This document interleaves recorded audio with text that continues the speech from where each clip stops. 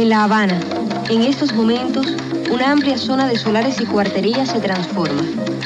Se destruye y se remodela el viejo barrio de Cayo Hueso.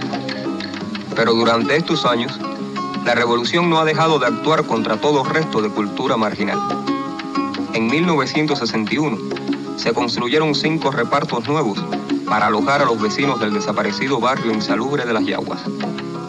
Desde el plan de ayuda mutua y esfuerzo propio, por el que fueron construidos repartos como este, hasta las actuales microbrigadas obreras, todo es parte del cambio habitacional dentro de una estudiada estrategia de integración.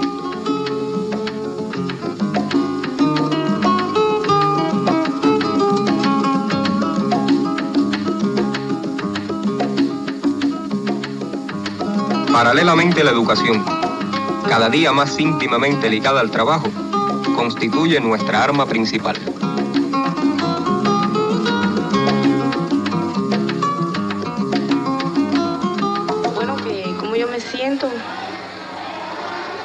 Yo me siento, no me siento muy bien. Yo soy, bueno, graduada de Tope, de Mina, de Tarará y entonces llegar aquí, ¿no? y encontrarme con, con todo esto es un mundo muy, muy extraño, es un mundo que yo no conocía y además un mundo que yo pensé que, que ya no existía. En todo el mundo capitalista, y en especial en el marco de los países subdesarrollados, existe una capa económica de características bien definidas.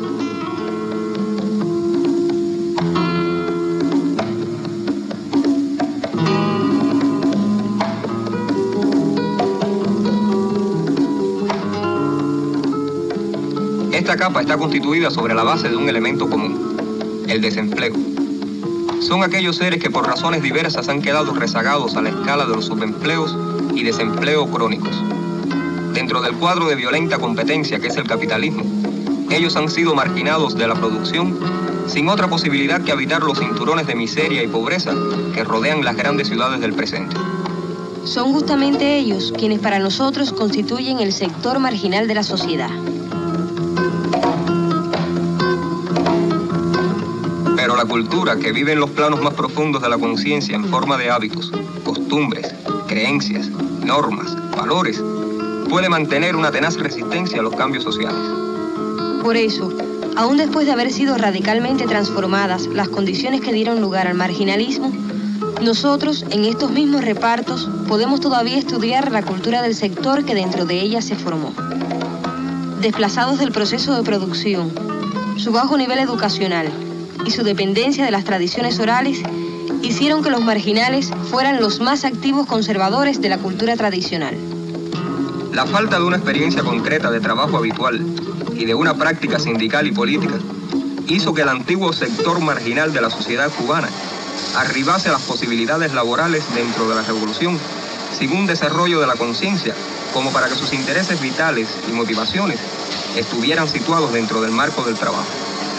Frente a los intereses sociales y políticos de la época, a veces podemos percibir cierta inercia y desinterés en el hombre de antigua procedencia marginal, lo que explica la permanencia de algunas actitudes antisociales dentro de la revolución. Oye, compadre, tú sabes que siempre entre los hombres no debe haber reserva. Hace tiempo que no compartimos juntos. ¿Y qué? Que hace tiempo que no compartimos juntos. Hoy lo veo particular. El domingo que tú vas a hacer, llégate con el barco, vamos a partir de plazo, tú y yo.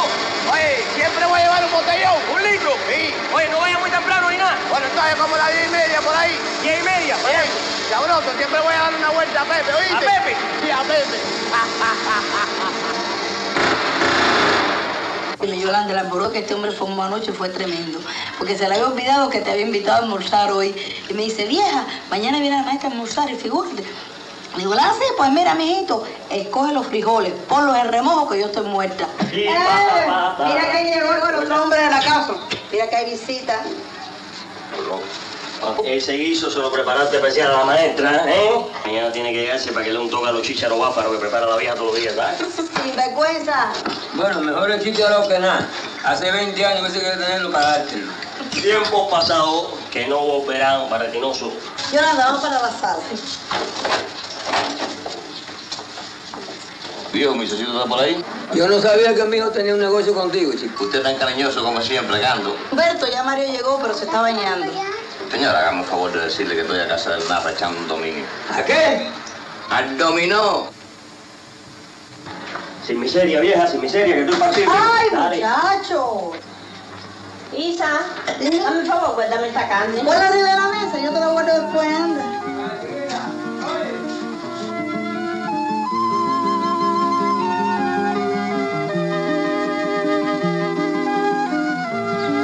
25 años. Mi familia tenía recursos. Dinero. Bueno, no precisamente, pero mamá trabajaba y papá también. Pero por eso no. Porque los viejos míos se mataron toda la vida trabajando como unos trastornados y nunca tuvieron ni dinero ni recursos, como dices tú. recursos. ¿Por qué no me hablas de ti, Mario? ¿Y a ti te interesa eso, no? Sí, me interesa mucho. Yo no sé ahí, mira. Ahí en esos pinos. Nah. Hubiera sido un jamón haber nacido ahí, así, así como está ahora. El agua podrida esa corría entre las casas de agua y de lata, de cartón.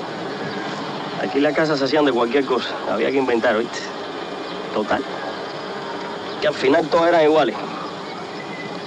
Yo me hice hombre en la calle. La calle. La casa era para dormir. ¿Y la escuela?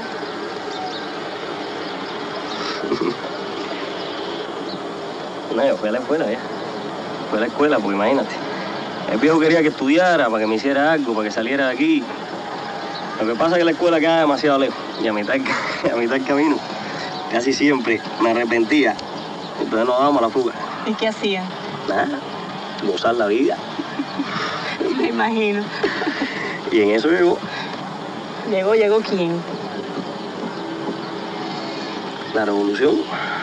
¿Qué bola con esta gente? Hacer de que vienen censando por ahí to- todavía. chico. Esa gente está con lo mismo de siempre, que quieren terminar con esto aquí, con esto no van a acabar, No, mulato. caballero, no vamos a hacer ese tipo de comentarios aquí que me perjudica mi negocio. Pero mira, Tere, tu negocio aquí es tu venta aquí, lo de nosotros es business, que lo de nosotros te mantenemos esto aquí. En 1960, la Revolución Cubana realiza un censo de población y una campaña de alfabetización en barrios insalubres, con el propósito de su total erradicación. Yo no quiero más nada.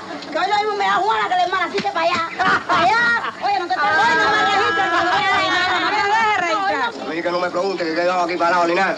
Que nadie tiene que saber aquí cuánto duerme en mi casa ni cuánto Oye, mi come. santo nunca me engaña. Ahora sí es verdad, yo sé que vamos a salir de aquí. Que después que la revolución nos dio el terreno, nos dio todo lo, la, la construcción, muchos compañeros ahí se decían, no, yo no voy a trabajar allí porque ¿para qué? Entonces lo costaba a nosotros trabajo sacarlo de allí. Pero trabajo es una cosa que la revolución ya lo había ideado dar casa a nosotros. Esta la nueva casa, este es el barrio nuevo, oye. Así dice la canción y mira, después me trancaron. Espérate, que caíste preso. Preso de qué? Me becaron, un tecnológico. Pero primero tuve que subirme cinco veces el pico, ¿viste? No, fuiste cinco picos también. Cinco. Pero en la sierra era un vacilón. Pues en la sierra me sentía bien, era como. Era como andar con los socios aquí del barrio cuando uno se fugaba y eso. La beca sí que no. Esa beca no había quien la aguantara. La dejé en el segundo año. Y luego, Nada. La calle, otra vez. Los amigos, otra vez. Las mujeres. Y el viejo Candito con una clase de rinche que no quería que ni, ni, ni verme la cara quería. ¿y qué más? Nada. Después me echaron garra de nuevo. El servicio militar obligatorio, SMO. Menos mal, mijito, si no, Menos mal. Levántate a las 5 de la mañana, derecha, derecha, izquierda, izquierda, media vuelta. Ya tú sabes. Pero la verdad que después de todo yo no me puedo quejar, ¿viste? Suerte que a mí todo eso me llegó a tiempo. Estaba regado. Estaba regado, regado. Estaba loco. El servicio militar me salvó. che. Y en el momento en que... Nada, yo pensaba ¿te irme. ibas del país? No, chica, que irme de qué. Eso quiere decir jurarse, jurarse en un juego. ¿Jurarse en un juego? ¿Qué es eso? Nada. Yo era muchacho siempre quise ser ñañigo. ¿Ñáñigo? Sí, ya sé lo que me va a decir. Que los ñañigos el día de Santa Bárbara se comen a los niños y todo eso. A finales del siglo XVIII, ya en Cuba se vislumbra un gran desarrollo económico. nos vamos a convertir en una gran plantación cañera y la caña de azúcar va a exigirnos cada vez mayor cantidad de brazos, mayor cantidad de esclavos. De África Occidental llegan hombres de diferentes culturas en diferentes etapas de desarrollo.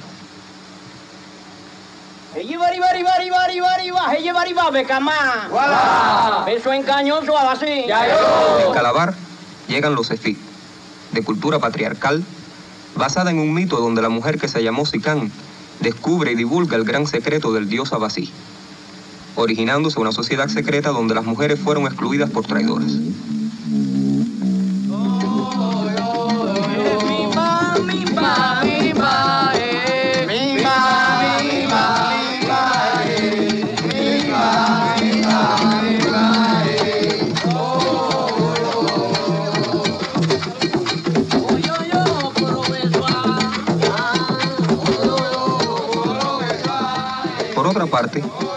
Economía colonial con una casa de contrataciones comerciales, con centro en Sevilla y Cádiz, hace posible que durante siglos entren en nuestra floreciente capital españoles procedentes de esas ciudades andaluzas, reclutados como marinos precisamente dentro de las capas marginales. Aventureros que llegan a La Habana con todo su código de violencia, machismo, el uso de la navaja y el culto a la hembra, y que van a encontrar un marco social propicio para integrarse a una población criolla de semejante naturaleza. Ya en el siglo XIX aparece en La Habana el negro curro, como un auténtico producto nacional del folclore urbano. La sociedad secreta Bacuá surge a partir del mito de los esclavos del Calabar, arraigándose dentro de la población marginal de las ciudades puertos de La Habana y Matanzas, y donde en un rito de iniciación ya cubano vamos a ver el sacrificio del chivo.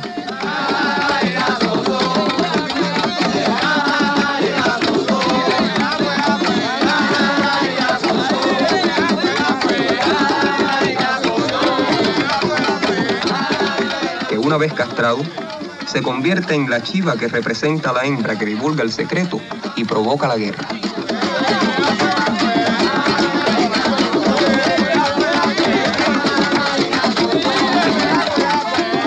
Este hecho cultural sintetiza las aspiraciones sociales, normas y valores del machismo en el pensamiento tradicional de la sociedad cubana.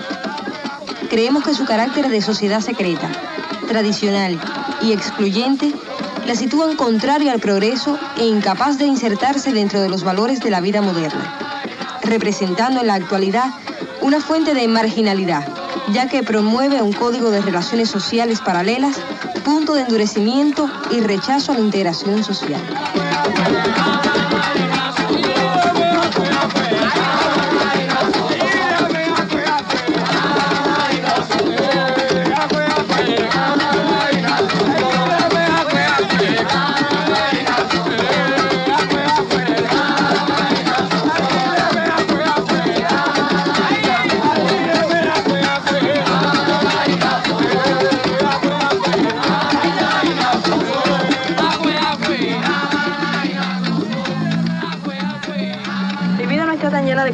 Tuya.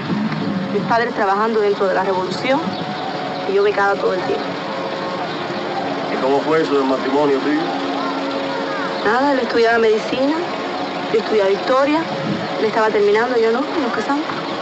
¿Y tú lo dices así, como así, nos casamos ya? No querrás creerlo, Mario, pero la verdad, tuve curiosidad por saber lo que era estar casada. El primer año fue bueno. Él siempre tenía exámenes o guardias. Y cuando nos veíamos lo pasábamos bien. Yo estaba mucho tiempo sola. Por eso yo estoy acostumbrada ¿Aquí?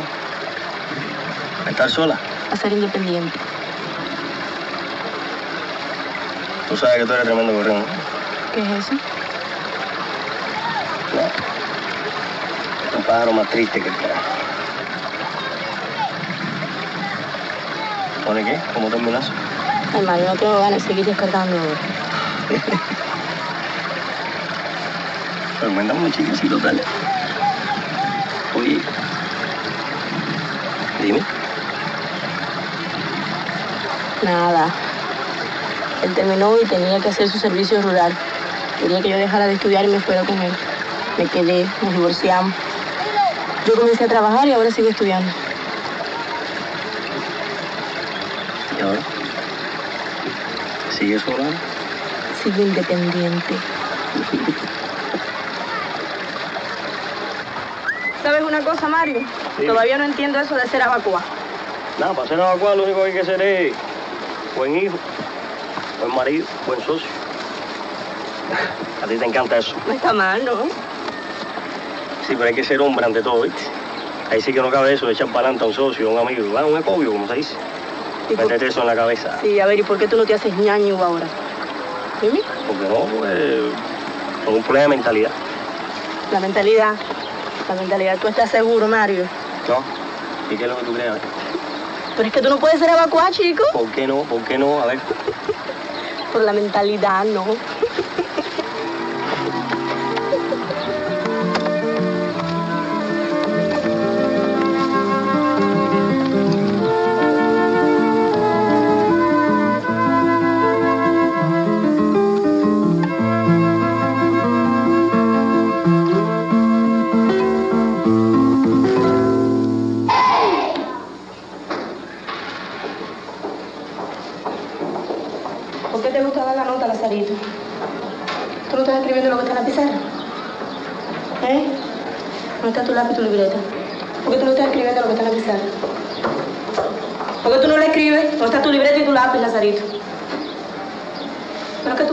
La vida, mi cielo? A ver. Mira, la revolución es buena, Lazarito. La revolución te lo da todo. Te da lápices, te da libretas y tú todo lo botas, todo lo tiras. ¿Por qué, mi vida? Porque tú crees que tú eres el vivo de la película. ¡Silencio!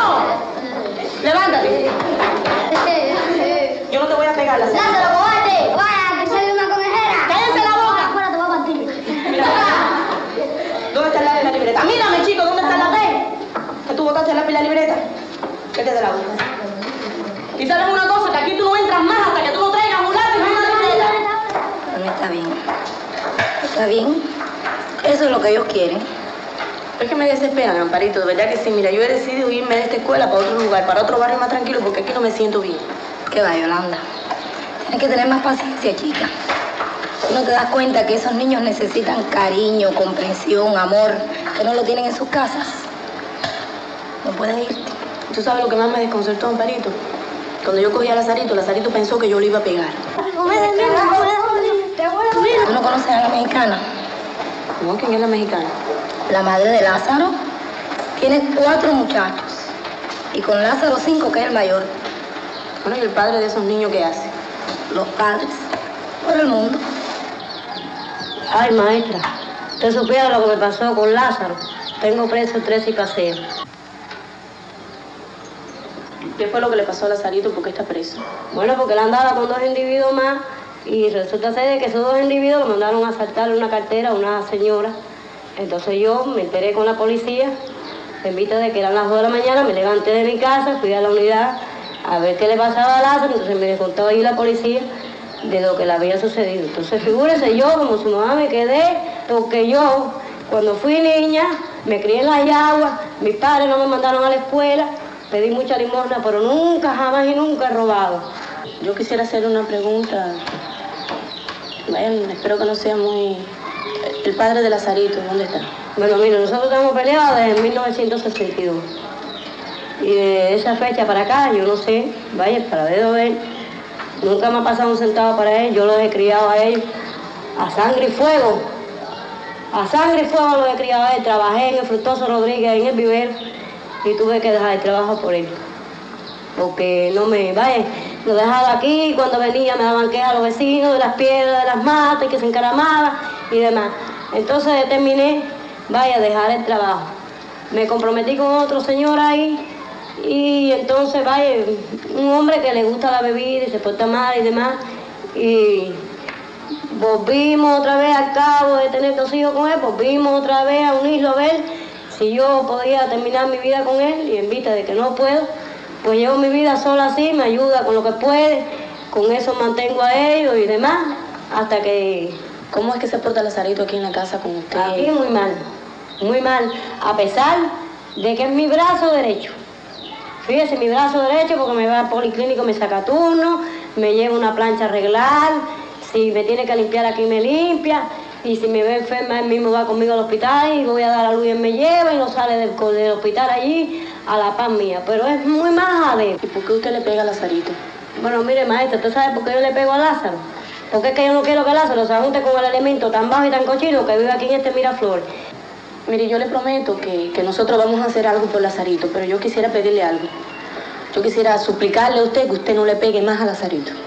Bueno, mire, yo le pido de corazón que se vaya de rodillas, que usted me lo saque, pero vaya, yo no le voy a pegar más, que pero yo lo que quiero es tenerlo a mi calor. Porque mire, sí, yo lo necesito él aquí, porque es que me ayuda en todo a mí aquí, a pesar de que es majadero y se porta mal y eso, vaya, pero es el que me ayuda a mí en todo aquí, vaya. Yo no le voy a pegar más. Canta. Ese es tuyo, hermano. Espérate un momentico. No te, no te agites, no te agites, que esto es suave. oído, oí eso. Dale, den. Aquí lo que hay que hacer como mi socio, que se busca jevita fuera del ambiente y ahí así no dan bateo, ni tienen lío, ni nada de eso. Llevo. Sí, señor. Sí, El que puede, puede, y al que Dios se lo dio San Pedro se la bendiga. Me doblo. Problema Y voy con la otra. Voy. Problema tuyo, problema Nada, tuyo. Voy, dime. Lleva. A ver, ¿tú qué? Habla. Dime que la tengo aquí. Contrólese, que doctor no se precipite, mire. Me doblo. A mi canalla. No se vaya a perder ahí. Eh, primos. ¿Qué? ¿La maestra? Ciro. Para la campeón gana. Cuide lo que tiene. Tiene rico majal. Gracias por el consejo. Se agradece la intención. Dispara. A la mira tiene que vender el cajetín. Dentro de nadie muere muerte natural. No llevo. Descarga es puro, póngase Después de eso no lleva, no lleva, no lleva. Mira lo que le voy a bajar. Mire, doble nueve, le doblo. Son Dale, anda. doblan, bárbaro. ¿Y tú qué? Usted tiene para todo. ¿Tú qué? ¿Llevo o no lleva? Yo no llevo. Dale, caballo. Cuidado lo que hizo con su buena cabeza, no lo desbarate con su pie. Con su buena cabeza. Levante esta con su buena suerte. Mire, levanta esta con su buena suerte. Ya, más nadie. Voy, voy, voy. Entonces, mire, se acabó, se acabó. Matarile, lile, lile. Voy a hacerle el condumio, A la ¿sabes? otra te caigo a fichazo. Buena suerte. Anda en esa. Dime. Coño, serio. Tengo que ponerte una. ¿De qué? Nada, que tengo una voladita ahí, tengo un material. Por favor, mundial. Mundial, mundial, mundial, mundial. Y quiero que usted me coopere conmigo, compadre. eso nunca ha sido problema para usted. Mulato lindo, ni tío. Nada, la volada es que me voy a pasar cinco días en Ñongo, en Oriente con ella, compadre. ¿En las vacaciones? Ne, ahora. ¿Y qué fue lo que tú dijiste en la empresa? Oye, Humberto. Eso es tremenda mierda tuya, mulato. ¿Pero qué es lo que tú te crees? ¿Tú acabas de tener un barretín en la pincha? Pero ven acá, y los méritos se te han subido en la cabeza a ti, ¿qué te pasa? No, que mérito de qué, no es que ni mérito ni nada, es que tú, tú estás viviendo con los pies en el aire, tú acabas de tener un barretín en la pincha, te hacen un consejo de trabajo y te tiran por una granja. ¡Granja! ¿Qué te pasa a ti? ¿Tú no O sea, entiendes? O sea, ahora comprendo lo que la gente está comentando. ¿Qué es lo que la gente está comentando? ¿Qué cosa es lo que la gente Que comenta? Maestra te ha lavado el cerebro, ¿Qué maestra ¿Por qué tú metes a- no, ¿por qué la maestra? No, con compadre. leña. ¿Por qué tú metes a la maestra? ¿Por qué? ¿La maestra no tiene nada que ver aquí? Ah, ¿te berreaste? No, no me berreo, porque tú, tú no tienes que meter a la maestra en esto. No, no, si te berrea con suerte, perdona, es una forma de expresión. Fíjate, mira, el problema es que yo no puedo perder a- al pollo ese, compadre, porque si pollo es un pollo de porcentaje, son cinco días de prestación de servicio en Oriente. Además, siempre margen, margen para mi business. Y usted sabe que usted es mi socio, que siempre va a ir bien. Dale, mulato, entonces que te aproveches. Buen viaje, dale, haz lo que tú quieras. Ah. Ya. Oye, Dime.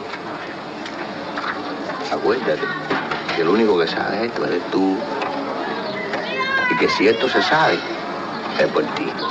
Espera, espera, espera. ¿Tú me estás amenazando? ¿Me estás dando una amenaza? ¿Coacción? ¿Qué es lo que pasa? Oye, Gonzalo, tú estás No, pues yo con el dedito, que si tú eres Tú hombre... Tú estás berreado, tú estás berreado, tú estás berreado. Yo estoy berreado, pero no me estás- esa. No, yo lo único que quiero es que se sepa, compadre. Bueno, ya se sabe entonces, viejo, la pesta es el último, Humberto. Bueno, entonces, ¿qué bola? Nada, que te vaya bien y que lo disfrutes, mulato. Sabroso. Ah, buen viaje,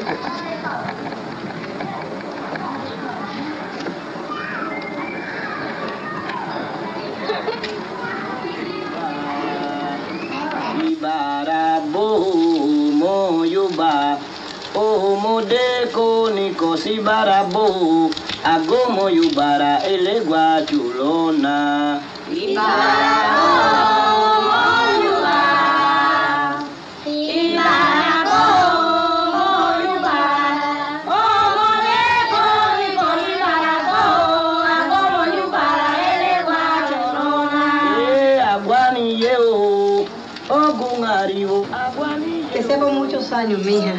Gracias. ¡Ey! Pasen, pasen para allá.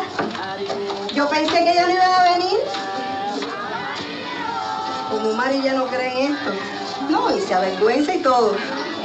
Pero en un día como hoy yo quería tener a toda mi familia aquí reunida. Y como ya tú casi eres de la familia. Pero mira, mira, esos son mis santos. Eso es lo único que tengo que dejar cuando me muera. Después pueden hacer lo que quieran, votarlo lo que quieran. Yo soy la que tiene que adorarlo.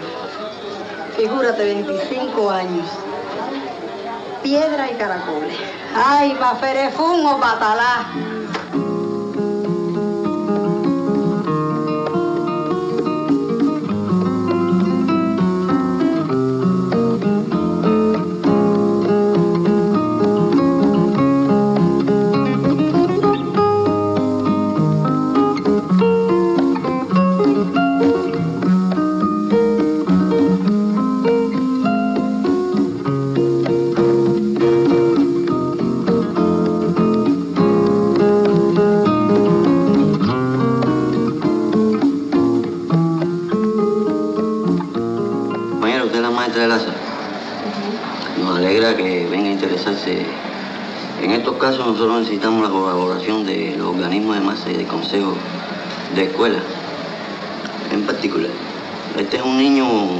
Está vinculado a la escuela.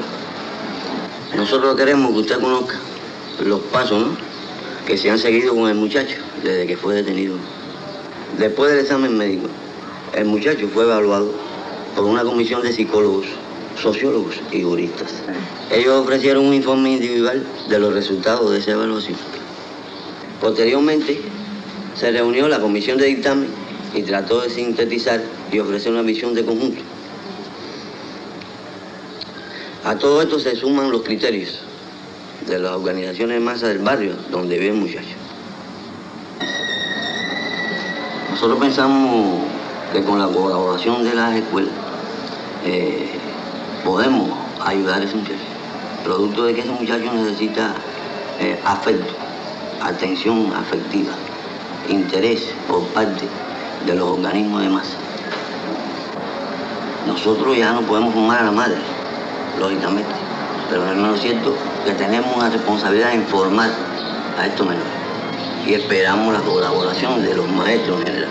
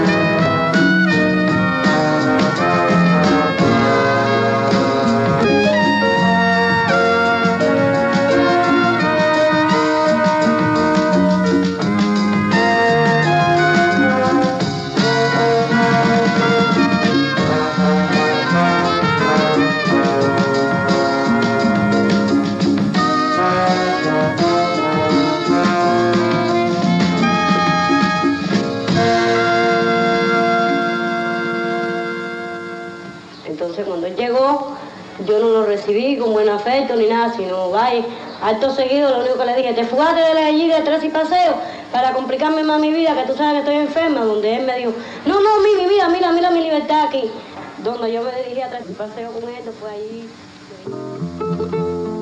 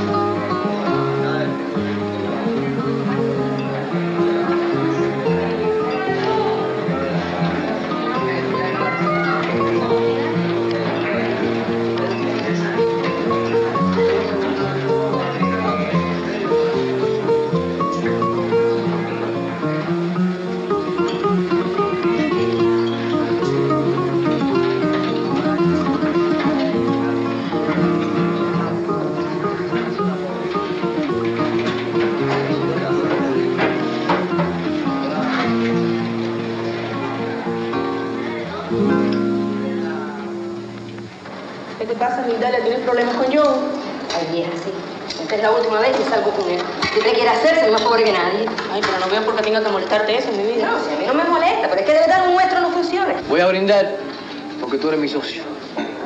¿Te das cuenta? Salud. Salud. Ese muchacho jamás en la vida te va a entender a ti como tú tampoco a él. Ay, por favor, mi Italia. Cuida a la chiquita esta, ¿viste? Yolanda no es cualquier cosa. ¿Y por qué tú te crees que estoy con ella? ¿Mm? ¿Y la chiquita esta que está contigo qué buena? Italia. No sirve, no sirve, no sirve. Tiene mucho arrastre eso. Pero tú sabes perfectamente que no todos somos iguales.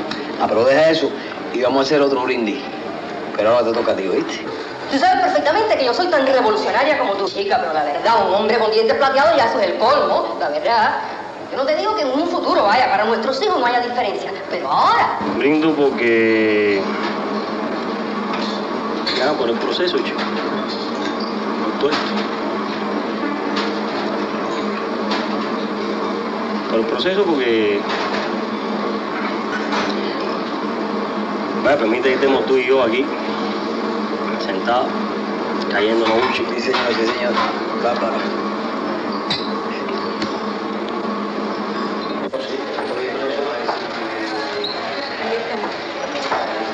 Oye, Yoli, yo creo que hay que irse de aquí porque estos dos están más que borrachos. ¿Tú crees? Míralo para que veas.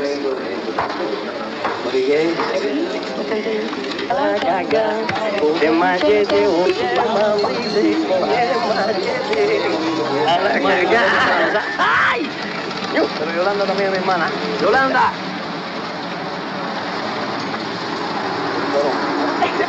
Oye, mi Dalia, nada más. Deja mi Dalia. No te metas en eso. Mi Italia, nosotros. ¿Eh? ¡Mi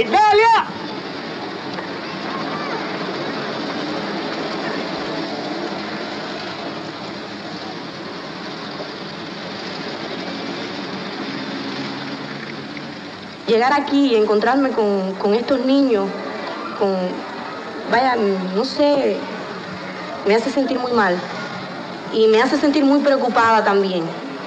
Preocupada por el futuro de estos niños, no tanto por los varones, porque en definitiva, bueno, los varones tienen servicio militar, o si no, la ley contra la vagancia. Pero, por ejemplo, esos niños que yo les doy clase, yo, yo doy clase a quinto grado. Cuando esos, esos niños, esas niñas, mejor dicho, terminan el sexto grado, ¿qué hacen? ¿Qué pasa con esas muchachitas? Entonces, me preocupa porque el destino de ellas, ¿cuál va a ser? No hay nada que las obligue a seguir estudiando.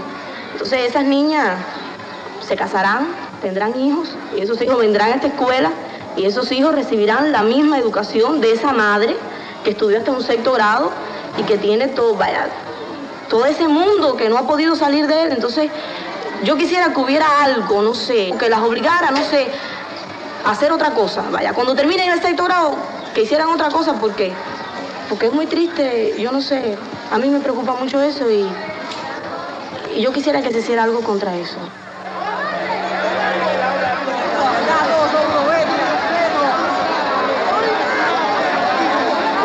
Tienen toda la razón, pero es que el problema de las niñas también va a ser atendido, porque ellas tienen un gran campo, son las becas de agropecuaria, las becas del MINSAC, así que de las niñas no nos hemos olvidado. Quiero que usted me diga un algo sobre el caso de Lazarito, el hijo de la mexicana. ¿Por qué no se ha hecho nada hasta ahora? Fíjese, Candito, eh, nosotros eh, ya hemos estado trabajando sobre el problema de Lázaro. Lázaro es uno de los casos más conflictivos que tenemos en la escuela y nos estamos ocupando directamente porque él es uno de los primeros que debe ir a esa escuela. Efectivamente, hay que ir y hacer comprender a esos padres que si esos niños permanecen en este medio, ¿eh? sin una orientación fuerte porque ellos no saben conducirlos adecuadamente, el lugar de esos niños está en ese tipo de escuela. Mire, Mercedes, nosotros la hemos llamado aquí a usted para decirle algo que naturalmente a usted no lo va a coger de sorpresa. Y es que su hijo Luis no pasa de grado. Yo sabía ya, la compañera maestra, mi niño Luis no pasaba de grado. Van tres cursos que mi niño está repitiendo segundo grado. Bueno, a ver, yo quisiera que usted me explicara cómo es posible. Si nosotros en otros momentos les hemos llamado a usted, le hemos explicado, por favor, que se ocupe de esos niños, que, no va, que posiblemente no pasaran de grado, ¿cómo es posible? ¿Cómo es posible que ese niño vuelva a repetir este año? Yo salgo de mi casa a las 5 de la mañana. Llego a mi trabajo. Tengo que empezar a las 8 de la mañana. Servicio de las guaguas están, pero bastante mal. Yo dejo la ropa preparada. Son las 11 de la noche y yo estoy lavando y planchando. Yo no tengo solamente esos niños, tengo 11 niños. ¿Usted sabe cuál No, fue el recibimiento de su hijo Juan aquí cuando yo llegué a esta escuela? ¿Sabe cuál fue? Sencillamente me dijo, ¿usted es la maestra nueva? Yo le dije, sí. Me dijo, ah, qué bueno, porque yo la voy a mortificar bastante. ¿Usted entiende? Entonces, el, el ejemplo de esos niños mayores lo coge el más pequeño. No sé, a mí me parece que usted sí es una buena trabajadora, pero tiene que ocuparse más de sus hijos. Vaya, usted me, me perdona, pero yo soy maestra de esta escuela y tengo que ocuparme de los, de los alumnos también. Yo le digo a usted que está de más que usted me diga que me ocupe de mis hijos. En el poco tiempo, desgraciadamente, que tengo, bastante que le hablo, bastante que converso con ellos. Bastante que lo hago con mis hijos. Pero algo tiene que pasar. Algo tiene que pasar porque, mira, alguien tiene que ocuparse de esos niños. Yo no sé, algo pasa porque esos niños no pasan de grado, esos niños no son unos niños disciplinados, esos niños no estudian. Entonces tiene que haber alguien que los obligue a estudiar. Vaya, yo no sé quién será, si tiene que ser usted, si es el padre, si no tienen papá. Yo no sé, pero alguien tiene que ser, por favor, porque eso no puede ser así. Es la calle, señorita. Es la calle. Mira, Yolanda, no es que esté mal que tú le llames la atención. Lo que está mal es el método, la forma que tú empleas. Porque tú sabes que los padres de nuestra zona no son, eh, no se puede realizar, un- no, es real- no es fácil realizar un trabajo con ellos. ¿Por qué? Porque tú conoces este medio. Entonces, si ellos llegan a ti y tú te manifiestas de esa forma, pues ellos van a sentir rechazo hacia ti. Y recuérdate que la labor fundamental de nosotros es atraerlos, que ellos eh, se sientan atraídos hacia la escuela. Y si tú te les expresas en esa forma, seguro que tú no vas a lograr ningún objetivo bueno con ellos. Pero expresarme en qué forma, María del Carmen, ¿qué es lo- qué es lo que yo le dije a esa señora? Vaya, Yolanda, fíjate, no es la primera vez que nosotros te hacemos ese señalamiento. No es la primera vez que te hablamos de lo mismo. Tienes que tener más método. Más método, Yolanda. Tú no te puedes alterar nunca. Nunca. Recuerda que no es el mismo nivel. Mira, yo estoy cansada de que ustedes me estén llamando la atención como si yo fuera un muchacho, de verdad que sí. No es la primera vez sí que ustedes me llaman la atención. Vaya, yo no estoy acostumbrada a que me llamen la atención tanto y mucho menos por cosas que yo entiendo. Yo entiendo, yo estoy perfectamente convencida que estoy diciendo la verdad, chicas, que me estoy comportando como me debo comportar. Pero que lo analizas, Yolanda. Fíjate, Yolanda, Analiza. que nosotros no lo queremos hacer con el objetivo de destruirte. Nosotros queremos ayudarte de verdad, que tú te superes porque tú llevas poco tiempo aquí, que tú mejores y que tú llegues a ser de verdad una... Mira, yo no voy a llamar al comportarte alumno y a la- decirle, mira, tú no estudias, tú eres un mal alumno, tú raca, raca. Yo no voy a decirle eso al alumno. Yo tengo que llamar al padre y decirle, mire, ¿quién es el responsable de que este niño no me pase de grado? ¿Quién es el responsable, chica? Entonces, que tienes que emplear otra forma. Tienes que emplear otra forma. Convéncete. No puedes hacer Mira, otra cosa. verdad, yo no, yo no las entiendo a ustedes. Yo creo que si a mí me vuelven a poner a hacer otra entrevista a tu padre, yo voy a hacer exactamente lo mismo.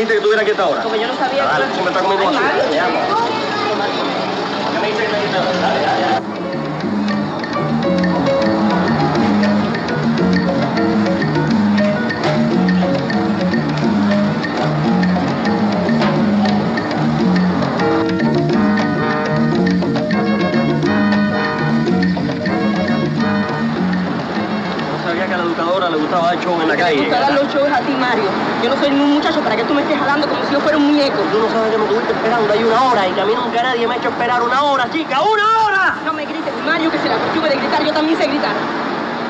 ¿Qué es lo que tú quieres? ¿Dar un show aquí en la calle? Mira la gente como está mirando. Oye. Mira, Mario, yo lo que quiero es no verte más. Esto se terminó, ¿entiendes, Mario? Se terminó, No, Mario. maestrica, se terminó como tú quieras, se terminó.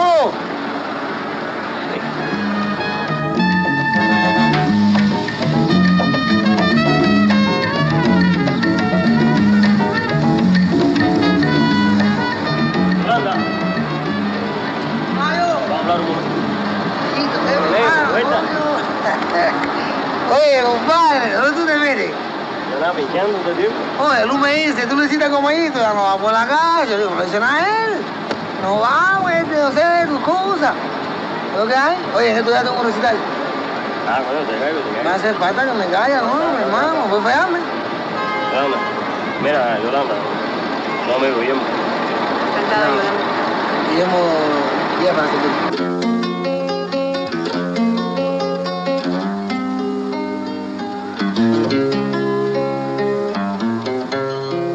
soy como un niño que llora en su cuna. Guillermo Díaz, en la actualidad compositor, cantante y juez de boxeo. Otro personaje real en esta película. Ex campeón amateur guantes de oro en 1957. Aspirante a la faja profesional de su peso en 1958. Guillermo había nacido en Las Yaguas en 1938.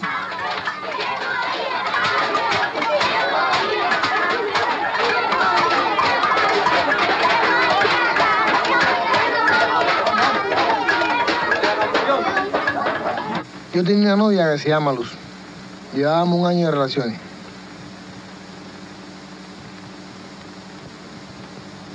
Entonces en el barrio había un tipo que siempre le caía atrás y le arrebataba naranja.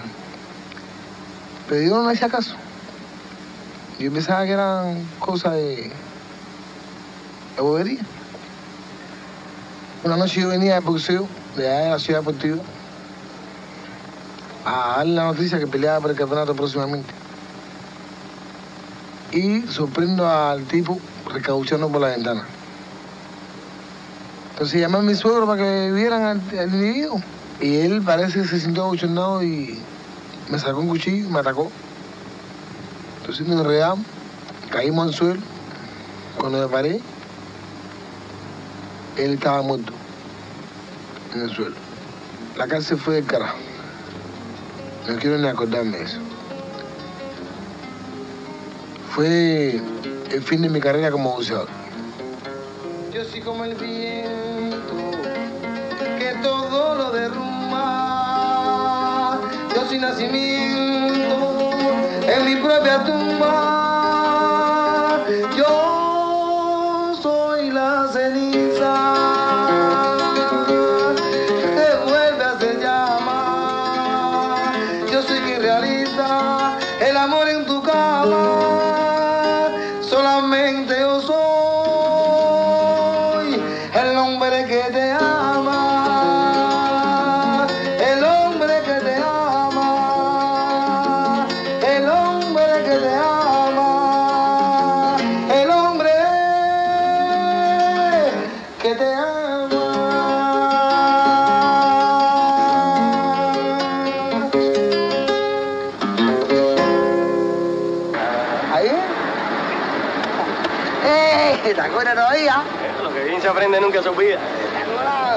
dinero. Está bien, está bien. Vamos.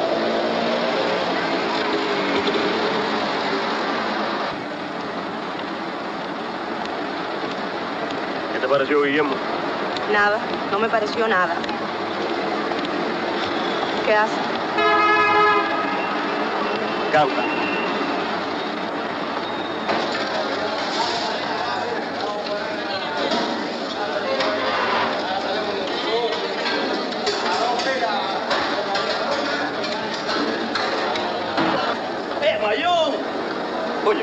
Que vacilón, pollo. Membrillo, membrillo, membrillo, membrillo.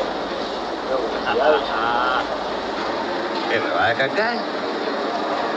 muchacha, ya de qué felicidad. Pero estoy diciendo en serio, ¿qué quieres que te diga? Saca esos pedazos tuyos, ¿no? Yo te conozco bien y eso No, nada más que me conoce, ¿oíste? Porque si no me llega a conocer... No, no, tú esos sabes. pedazos, compadre. ¿Qué Pedazos. calco, esto, esto? ¿Qué pasa? Pedazo. Digo yo, compadre. Compadre, qué porcentaje, mire. Ña, chivo. Eh, hasta una vaca por poco trae esa Eva que va para ahí, compadre.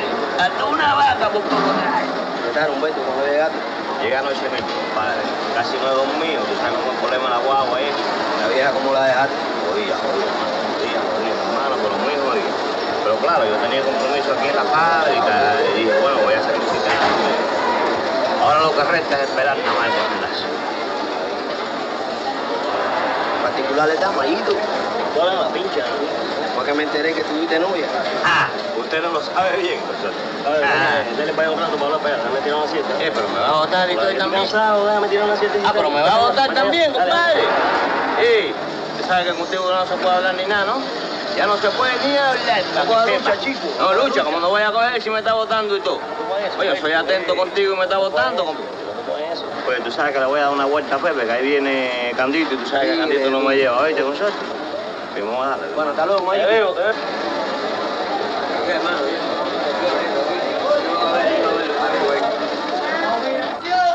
Siempre moviendo la mano, como te dije. Vuelta negro. Eh, ¿qué, Mario? Oye, vea, voy a hacer un poco sombra. ¿Qué es la última canción? Nah, estoy vieja. ¿Vas a entrenarte? ¿Tienes problema? Sí, no. Nada, pero no es nada de importancia. La... Andoba. No te comprendo. No es eso, es que ella está en otra cosa, chico. Tiene su problema, su filosofía, su manera de pensar. Nada más. Haz como yo, Mario. Véndele. ¿Venderla aquí en el Rolando? No, al ambiente. Véndele a ese mundo que no te da nada, que no tiene flor de la mañana, solo rejas y apenas la ventana. Véndele y que ella nunca nunca sepa nada de aquellas cosas que por ti pasaron, de tu bregar por esas madrugadas. Si ella te muestra la parte vacía de otro mundo lleno,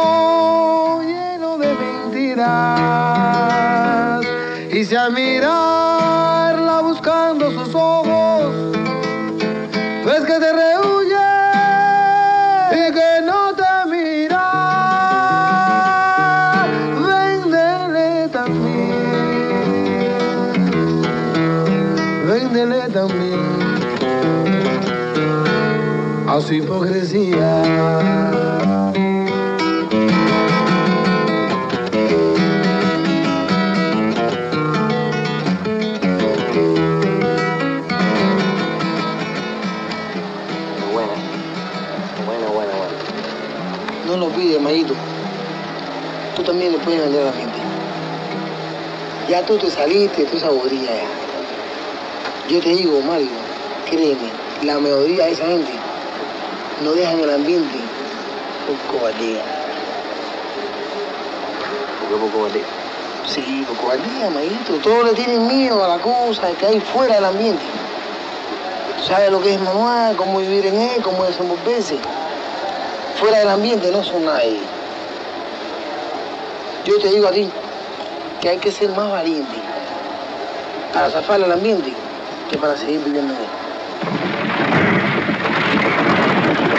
Investigaciones sociológicas que toman en cuenta las experiencias de los primeros años son parte de los trabajos de demolición y remodelación de algunas zonas donde sobrevive la cultura marginal. Estas investigaciones aportan datos que ilustran algunos aspectos del problema. El tiempo promedio de permanencia en el lugar se acerca a los 20 años.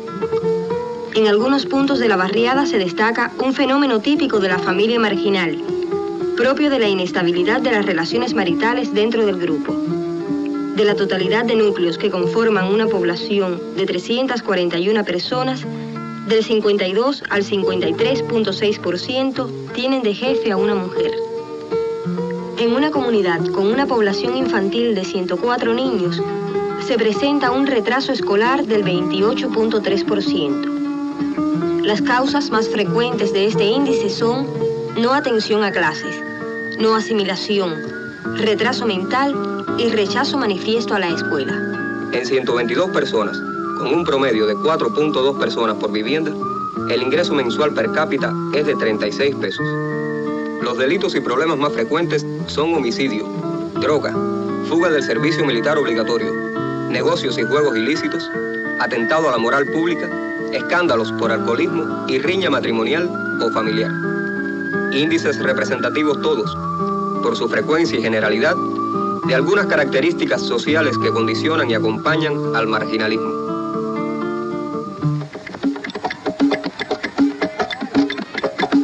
Eh, vamos a trabajar. Oiga, usted coge este pico. Usted coge aquella pala. Mira.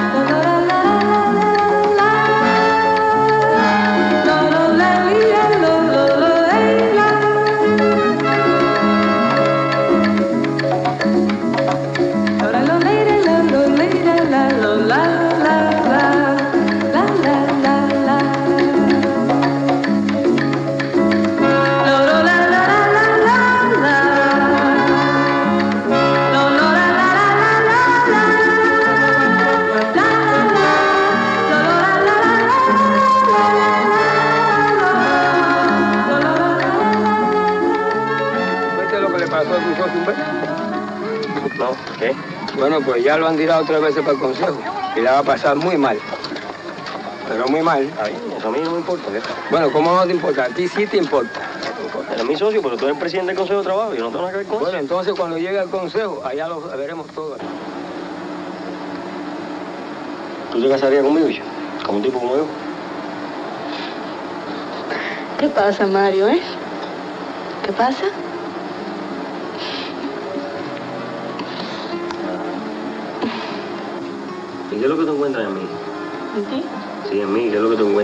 ¿Un hombre? No, pues hombre siempre sí. Sí, pero yo veo en ti el hombre que lo ve todo el mundo. ¿De qué? ¿Cómo la mujer esa? No entiendo eso. ¿Qué cosa es? Ninguna, Mario. Mira, tú para estar por tu reparto utilizas una forma de ser y para andar conmigo utilizas otra. ¿Tú no entiendes? No, no sé, no entiendo que andas diciendo. ¿Por qué? Te voy a explicar, mira. Cuando tú caminas por tu reparto, tú caminas así.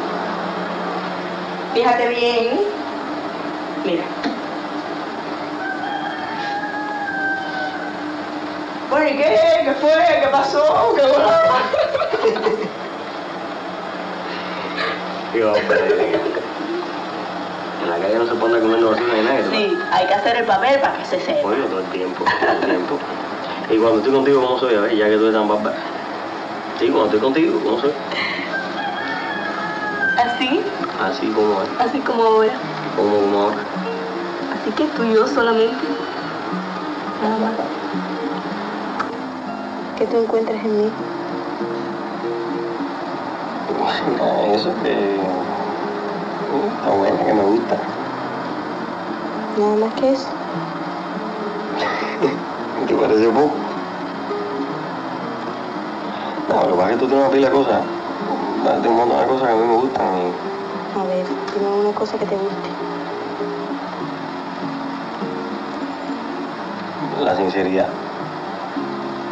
Una gente que, que habla claro y que te gusta que te hablen claro y, y dice la verdad. Y, nada, a mí eso me gusta. Aunque yo creo que a veces soy un poco dura, ¿eh? Nada. Sí. Lo que pasa es que en el ambiente este que tú has caído así de pronto de fly, imagínate, a la gente no le gusta que le hablen claro, chico. La gente le tiene miedo a eso. decir una verdad. ¿Se te digo una verdad? Sí, una verdad. Una verdad de verdad. ¿Quieres que te diga una? Además, una que nunca se le dicho a nadie.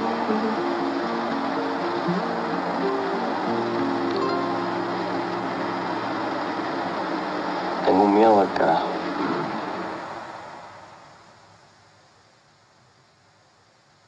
Procedo a leer un telegrama que el trabajador presentó como prueba para justificar su ausencia, el cual presentó después de su regreso y no antes.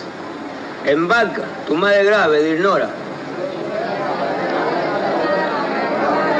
No, yo creo que al compañero Alberto se le veía una oportunidad, ya de que la ausencia que él estuvo ahora la tiene justificada. Entonces un caso como ese, de que recibió un telegrama de que la madre está enferma, es un caso desesperante, que nadie está pensando en trabajo ni nada. No voy a hablar directamente de Humberto. Yo no trabajo en la brigada de Humberto. Lo que quiero recordar es que cada brigada tiene una meta que cumplir y que el cumplimiento de esas metas dependen del trabajo de cada trabajador, de cada trabajador. Y que para inventar aquí va para retar la revolución. Para que sepan.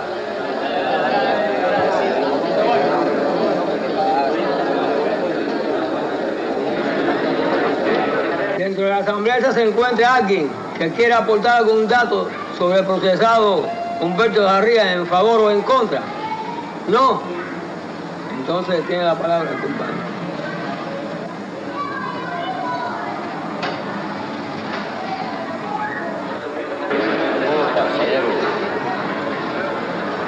Quiero que los compañeros sepan que yo estoy dispuesto a afrontar lo que sea. Si es granja, granja. Pero quiero que los compañeros también sepan que cuando yo llegué a Santiago, me encontré que la vieja se estaba muriendo. Que me pasé cuatro noches sin dormir allí, dando carrera, acompañando a la vieja en el hospital. Y eso es testigo el personal de, del hospital de allí de Santiago. Todos los compañeros me conocen, saben que yo soy un poco regado, que, que soy alegre. Pero compañeros, que no es buen hijo, no es buen trabajador, ni es hombre, ni es nada. Yo sé que aquí entre los compañeros hay algunos que están confabulados contra mí. Yo sé que hay compañeros que han dudado de mis palabras y que dudan. A esos compañeros que dudaron y que dudan, yo les repito lo que dije al principio, que estoy dispuesto a afrontar lo que sea. Eso es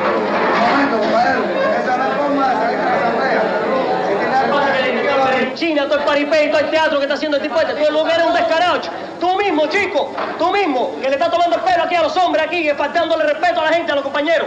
Y además, mira, insinuaste una cosa, insinuaste que yo me fui de lengua, porque el único que estaba en el insight de lo que estaba pasando era yo, Humbertico, lo insinuaste, y te voy a decir una cosa, vaya, te voy a decir una cosa, vaya, como los hombres, ahora sí me voy de lengua, vaya, aquí delante de todo el mundo, vaya, como los hombres, mira, todo lo de la madre es mentira, no tiene madre enferma ni nada, y estaba en Oriente con una mujer, Humbertico, que lo sé yo, no me lo contaron, me lo dijiste tú, en Oriente con una mujer, para que lo sepas, porque madre hace rato que tú no tienes, mulato, y ahora estoy dispuesto a venir contigo cuando quiera, contigo fin del mundo, ¿viste? No tengo más nada que decir, y con permiso me retiro de la asamblea.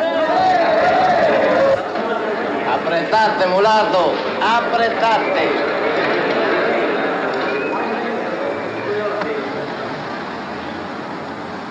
Ratificado por la Asamblea el estado predilectivo de vagancia del trabajador Humberto Sarría, este Consejo del Trabajo, en funciones de Tribunal de la Vagancia, acuerda proponer se aplique la medida de seguridad número uno del artículo 4 de la Ley contra la Vagancia, consistente en que trabaje durante seis meses bajo la vigilancia del colectivo obrero de este centro.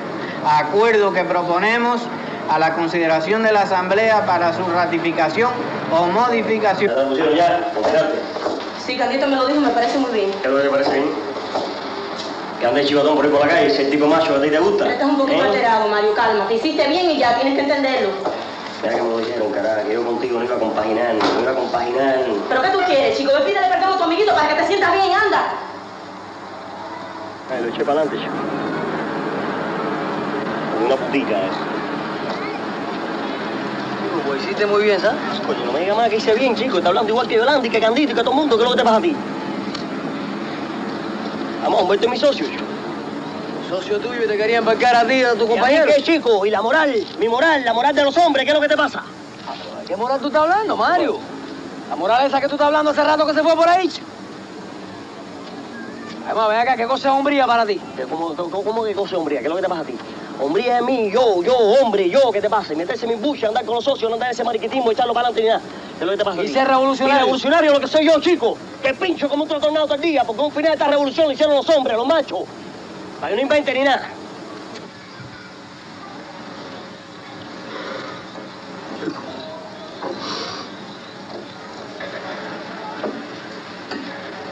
Estoy jodido, viejo.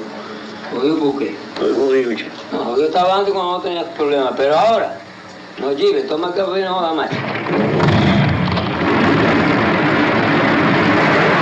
Porque es que hay cosas de que tú tienes que ponerle un sentido para comprender la situación y los planteamientos de los hombres.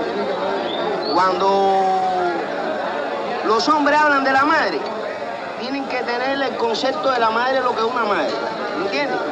Pero hay hombres que no saben el concepto que tiene una madre hasta que no la pierden. ¿Tú entiendes? Yo te hablo porque yo la perdí. Yo la perdí y sé el valor que tiene, porque la madre se le tiene el valor cuando se pierde. Y yo entiendo de que él no debe poner de ejemplo para su farra, coger a la madre de instrumento, porque eso es lo más grande que hay en la vida. La verdad, mira, y Humberto es un descarado. Para, ¿por qué Humberto es un descarado? Humberto es un descarado. ¿Por qué Humberto, Humberto es un descarado? un descarado porque Humberto es amigo. Yo que soy amigo de Humberto. Humberto fue amigo mío todavía porque me engañó. ¿Te das cuenta? Porque un degenerado no tiene nombre. Lo que Humberto me ha hecho mío una cosa no tiene nombre, vaya. Mira, aquí la situación es que aquí lo que hay que tener principio antes que todo. Humberto es un descarado. ¿Tú sabes por qué? Porque aquí lo que tenemos que quitarte la careta a todos estos individuos que están tapándose bajo el manto de los demás obreros y entonces haciéndose creer que están haciendo y no están haciendo nada. Estoy de acuerdo Es contigo. un tipo con un. Vaya, él defiende los principios de la revolución, es lo correcto. Pero fíjate, yo analizo como hombre, como hombre, vaya la cosa, ¿eh? Personalmente yo lo analizo. Y vaya, no es correcto que, porque ahí se vio, cuando, fíjate tú que cuando en la asamblea, él dice, aquí hay gente que tiene, están confabulados conmigo, es que el otro se explota, porque ya él piensa que lo están acusando de chivato a él. Ahí se ve una cosa directa entre ellos dos. Pero todo hombre tiene derecho a reivindicarse en esta vida. Está bien. Está bien, pero fíjate, ahí se ve algo. No, pero también el principio de la Mira, mira, espera, espera, espera. ¿Qué tú piensas de Mari? Han fumado una cámara húngara todo el mundo a la misma vez y casi tienen la misma opinión. Mira, Bárbaro, yo soy revolucionario.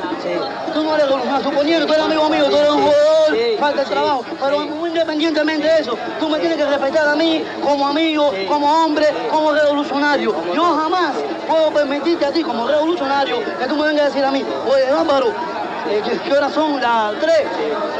Mira, si- mira, ve, si tú me marcas la tarjeta, ahí oírme. Tienes que respetar a mí. Venga, va. Tú me tienes que respetar a mí. Sí, eh.